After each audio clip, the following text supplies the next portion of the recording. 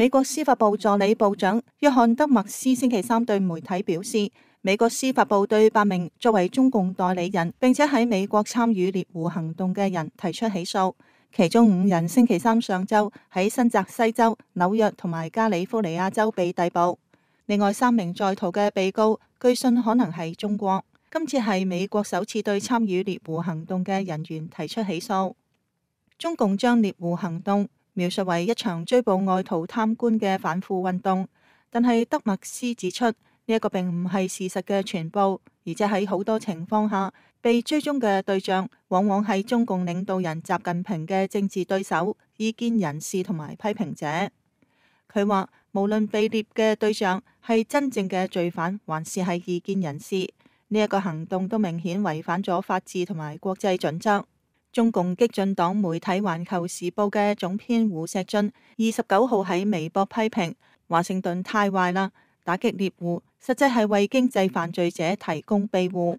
美国不是一个犯罪者庇护的天堂。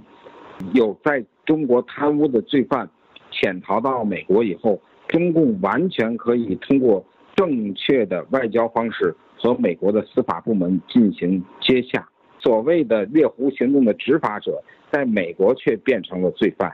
美国司法部门明确的来告诉中共，他派出这种特工在境外执法，影响到了美国的国家安全，因为这是个国家行动，要在美国展开的时候，他必须要跟美国政府要进行协调，这其实是个常识。但是中共的实际做法是绕开了美国政府，他自己在美国违反美国的法制，乱搞一套，所以在这一点上是怎么能够被美国所容忍呢？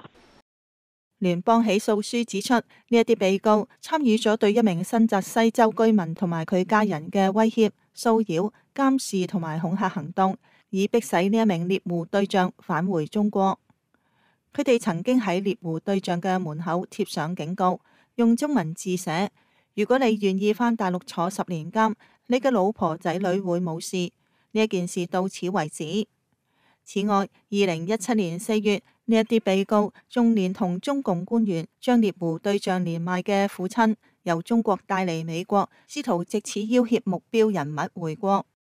中共执法的方式就像中国的城管出境一样，采用的都是那种恐吓、威胁、跟踪、骚扰，然后用人的家人作为一个要挟的砝码。用这样的一个方式，在另一个国家大张旗鼓地搞这种赤色恐怖活动，这当然是美国需要管一管。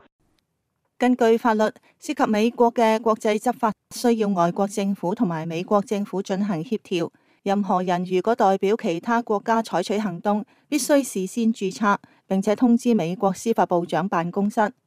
美国同中国之间并冇签订引渡协议。不过中美二千年签订咗关于刑事司法协助嘅协定，喺司法领域亦都进行过合作。